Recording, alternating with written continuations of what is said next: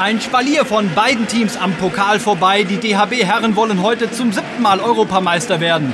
Tolle Kulisse im Hockeypark von Gladbach. Und dann der Kreiskapitän Max Müller macht seine Jungs nochmal heiß. Die Gastgeber, weiße Kleidung, erste Minute läuft. Fürste auf der rechten Seite, der sieht dann Oskar Deke und links am langen Pfosten Christopher Zeller. 45 Sekunden vorbei. Der Olympiasieger führt.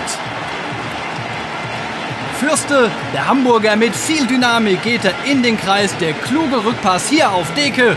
Und der sieht den freien Zeller am langen Pfosten. Bundestrainer Markus Weise sieht dann auch die ersten Strafecken hier schon Ecke Nummer 3. Zeller gibt den Ball herein und dann diese Variante nach rechts. Martin Hähner mit der Chance. Doch klasse Parade von Stockmann. 20 Minuten vorbei. Holland mit Toin de Neue. Der sieht Voistov am Kreis und der mit der argentinischen Rückhand. Ausgleich.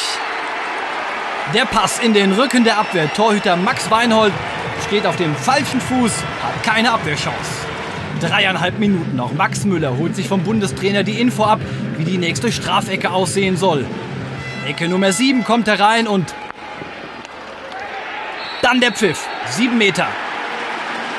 Oliver Korn nimmt den Abpraller auf, wird dann beim Torschuss hier von einem holländischen Stock getroffen. Die Entscheidung klar, Stock voll im Kreis, das ist sieben Meter. Fürste mit der erneuten Führung, damit ging's in die Pause. Nach dem Wechsel Skepsis im Blick von Paul van Ass. Hollands Trainer sieht diesen Angriff von Deutschland. Langer Pass in den Kreis. Stralkowski mit der Gelegenheit macht sich lang. Fuchs ist da. 3-1.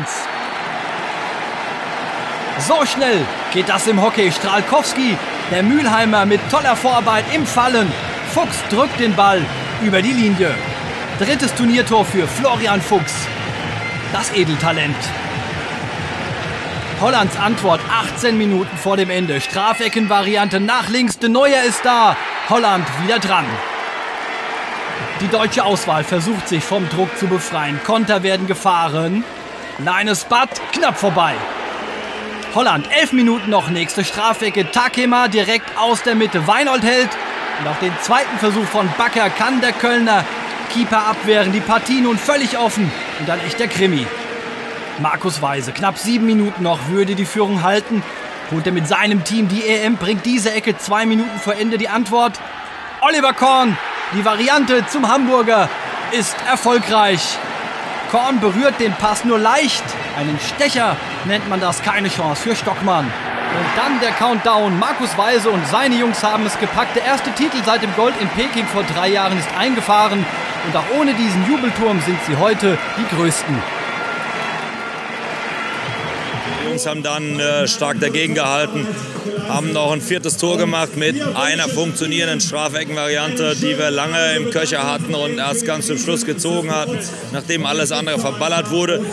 Europameister zum siebten Mal ein perfekter Sonntag für die Hockeyherren in Mönchengladbach.